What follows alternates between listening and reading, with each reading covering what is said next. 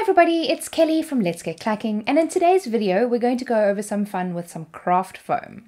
Now craft foam for me is a little bit of new territory, I've never actually really played with it very much before, but I figured that this would be a great excuse to use my Cameo 4 and my Kraft blade. So we are going to turn this into this. This is a lovely little fun tutorial where you can use your craft foam to create little craft kits for your nieces and nephews, perhaps even your kids or maybe even to sell at some craft markets. These little kits are very easy to make and I'm going to show you how to cut everything at the same time. If you do enjoy this video, I would really appreciate you giving it a thumbs up and leave a comment to let me know what you're going to cut with craft foam. If you really want to help me grow my channel, I would really appreciate doing those two things as well as watching the video the whole way through. Those three things really help me to grow and bring you more craft videos in the future. Well, let's get clacking! Okay, so we start in Silhouette Studio, as always, and what I've done in this design is I've actually split it up into the different colors. Now, I've put little boxes around each of the different colors that we have, and what I'm going to do is I'm going to place the different color foam on the cutting mat exactly like you see in Silhouette Studio at the moment.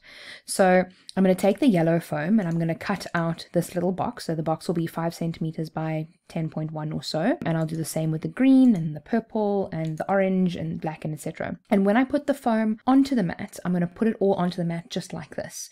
Just so I can cut everything in one go. It'll be a lot quicker chances are one or two of them are going to lift just because, you know, that's how Murphy has it. But if you've got a, a sticky mat, um, then you shouldn't have to worry about lifting because it should all stay. And another thing that you'll see what I've done with this design is I've actually changed the colors of the different elements. So when everything is layered on top of each other in Silhouette Studio, I can get a feel for what it looks like.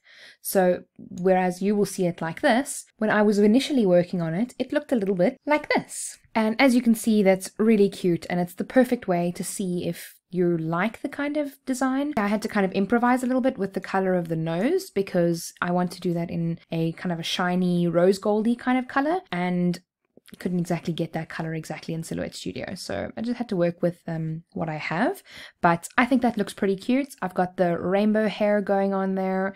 Um, she's mostly pink and her horn will be a gold color with I think that one's actually the rose gold, and then this one's just the, the shiny glitter pink. So yeah, we'll have to see what it looks like when it's all done. A very important thing that we would need to do is to select all of the boxes and go into the send panel and turn the cut lines off for these boxes. So because we're not going to be using tool one, we're going to select no cut in any case, but then what we will do for the rest of the items, um, let's just select those and we're going to select cut on tool 2. That's how we switch between the tool, the, the, the two tools. So you can either use tool 1 um, to cut using, you know, the auto blade and your pens and things like that, or you can use tool 2, which will be like your craft Kraft blade, which is what we're going to use today on the Cameo 4. If we were to cut this on the Cameo 3, then you would obviously just be using tool 1 and you could use your deep cut blade. So I'm going to head over to that side where my craft foam is and I'm going to start cutting all of the craft foam.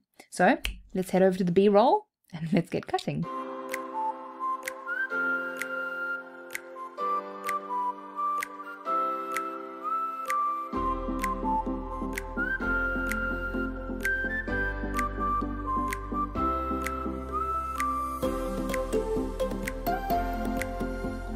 So now what we do is we take our pieces of foam that we have cut and we place them onto the mat just as they are in Silhouette Studio. Now I'm using a Cricut strong grip mat just because I don't have the Silhouette one.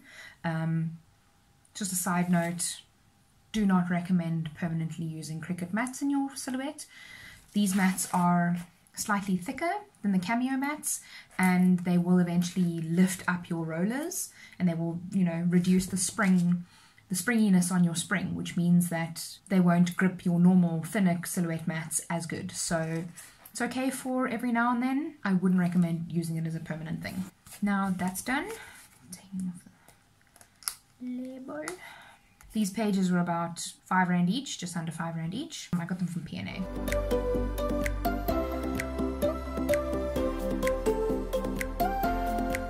Everything is now stuck down and then we can load it into our Cameo.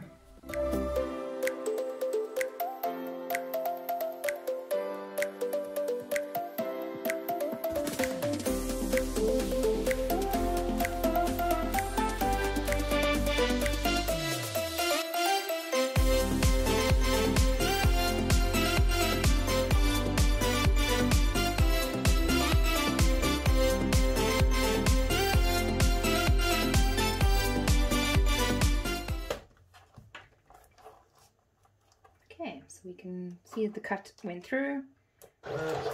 Eject. Now let's go over why that happened. okay, so I just filmed the entire thing of me taking all of this out of the little papers. And I forgot to press record. Anyway, so let me go over it again. This is obviously the, the remnants that we have of just popping the stuff out.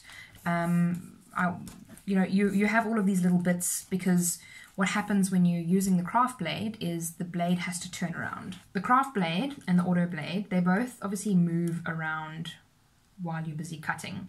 But the Kraft blade is significantly bigger than the auto blade. Obviously that's its design. What the Kraft blade then does is you can't cut one direction and then immediately lift it up and go in a different direction. The blade would then be facing the wrong way because it obviously needs turn time to swivel around to change to cut with a sharp side where you're needing to cut.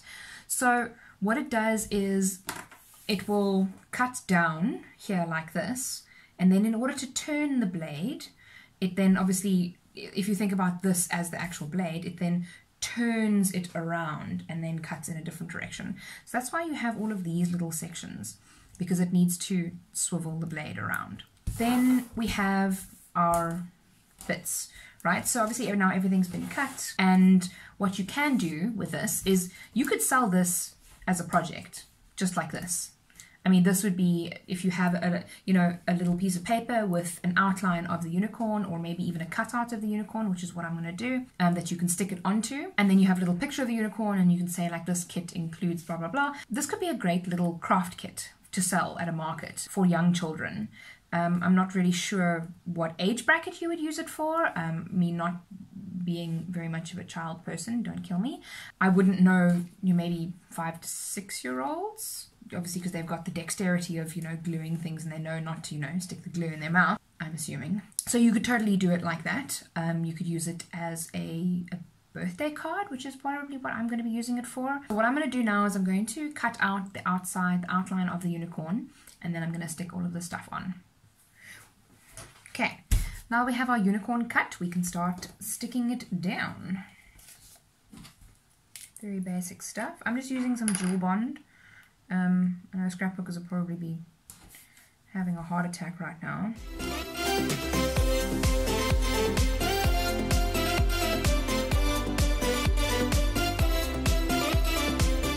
I like having that little gap that kind of separates the head a little bit. looks quite cute. The nose. We have the nostrils.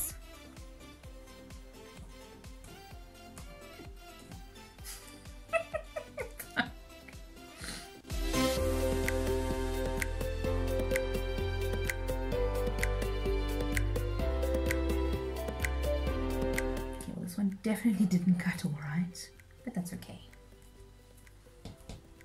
What's a craft project without a little fail, right?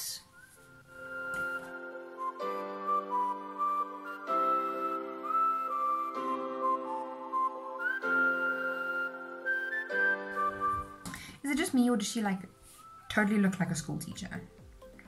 Like one of the coolest school teachers. I mean, everybody's had that that that school teacher in their life.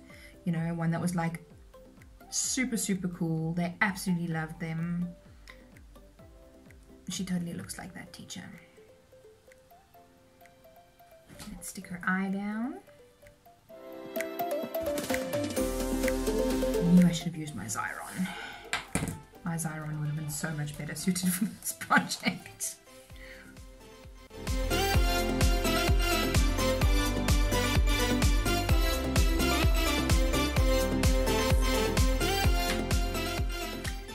our little project done. We've obviously taken all of the craft foam and turned it into this gorgeous little project um, that, like I said, you can turn into a little craft kit or a card.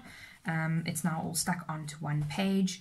You could even try and cut out the little sections so that you don't have to do overlaps and things like that if you wanted to. It's probably a lesson learned when it comes to craft foam. You don't necessarily want to have it overlapping all the time um, and to make sure that your mat is your foam stuck down on your mat so that you won't have this little situation right here.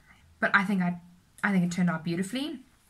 A little rainbow hair, obviously orange, yellow, green, blue, purple, um, and a beautiful shiny horn, nose, glasses, and heart. I really love it.